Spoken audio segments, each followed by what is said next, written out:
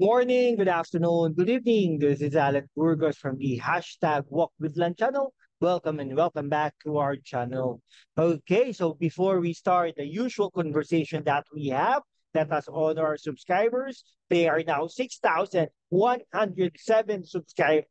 And all our subscribers are located around the world.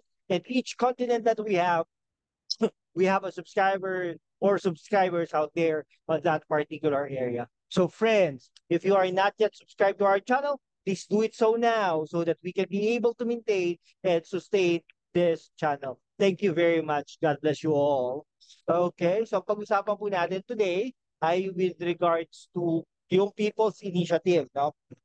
Okay, so mga ano po, yung mga development po recently, lumalabas talaga na parang initiative ito ng House of Representatives, no? Parang ano lang eh, no?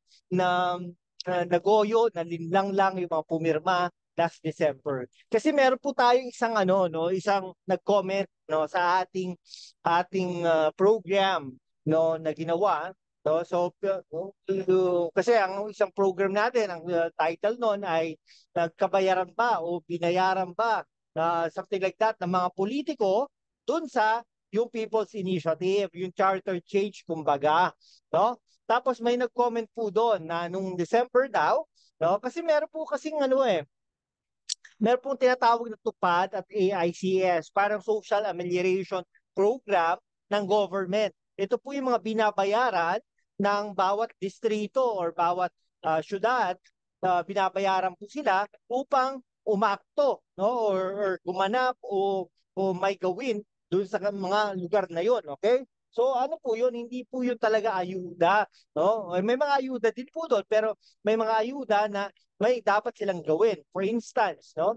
may magwawalis sila, maglilinis sila, no? magtatanim sila ng mga puno, ng mga halaman, uh, magdidilig sila, okay? Something like that, magbubungkal, okay? Mga ganong bagay, magwawalis, uh, clean and green, um, na mga gano'n, no? na mga initiative o mga gawain sa bawat lugar. No?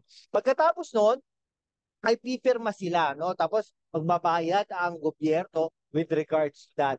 So now, ang ano pala, nung December po, no? so bago sila bayaran, dapat kailangan nilang pumirma. No? Napansin nila, iba na yung mga parang iba na yung pinirmahan nila. No? Pero hindi naman po in-explain sa kanila kung ano po yung mga pinirmahan na yon. Okay? So yun. Eh ano pala, ngayon, lumalabas ngayon na yun pala ay people's initiative na. Okay? Yan. No, so parang ang, ang tingin ko dito ay sinamantala, no? Sinamantala ang kahinaan ng mga tao, no? Sinamantala po talaga dahil uh, yan. Um, uh, sin parang sinamantala po eh, no? Ang kahinaan ng bawat mamamayang mahirap. No? So, ibig sabihin pala nito, ang mga pumirma po doon ay mga talagang tupad, AICS, yung mga mahihirap po talaga. No? Eh, hindi ko pa narinig na may mga pumirma doon na kasama mga middle class at kasama sa mga mayayaman. Ibig sabihin, mga mahihirap talaga. Hindi naman po in-explain sa kanila kung ano po yung pinirmahan nila. Kasi in the past, yung in the past po, talaga po yung pirma po sila doon para naman po Di ba, pagkita pipirma, bibigay sila. Eh, pero bibigay nila yung mga pera, pero hindi naman po pala yun, no? Parang, ang tingin ko dito, nalinlang po. Now, eh, ito pa, yung yung chairperson ng Ways and Means, no? Yung si Congressman, yung sa Bicol, teka lang nga po, nakalimutan ko eh.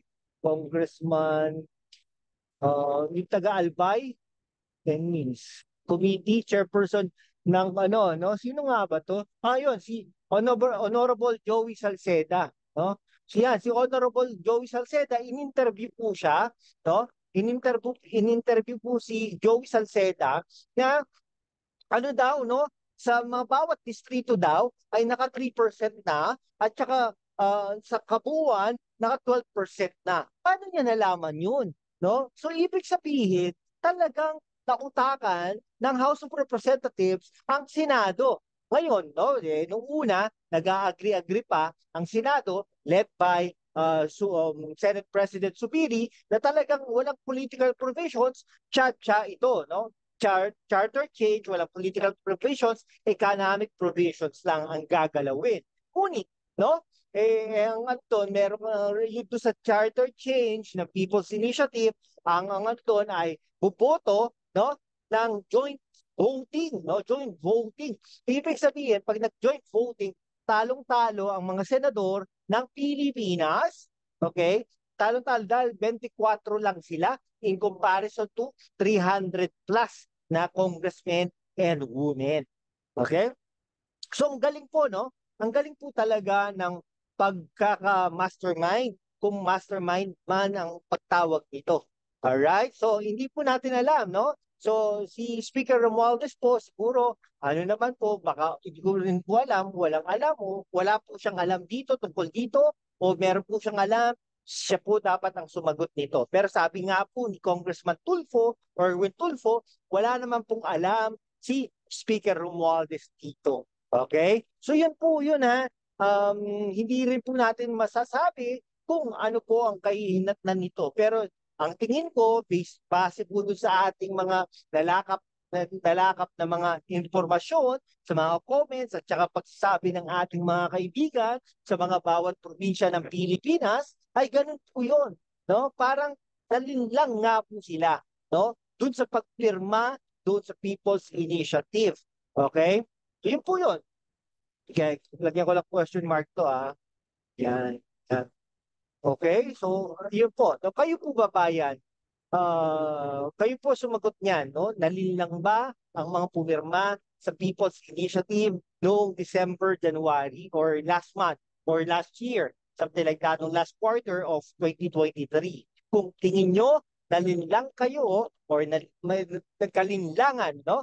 Ang mga pumirma, People's Initiative noong January, noong 2023, paki-comment lang po diyan at sabihin niyo bakit pakidetalye na rin po as much as possible. Pero kung hindi naman po, kung hindi naman, pakisabi din po diyan na walang nalinlang at naniniwala kayo sa People's Initiative ng Kongreso. Okay? Sige, hanggang dito na lang po mga kaibigan ko. Maraming maraming salamat. Kung hindi ka pa nakapag subscribe, mag-subscribe ka naman so that we can be able to maintain and sustain this channel. Thank you very much. God bless you all.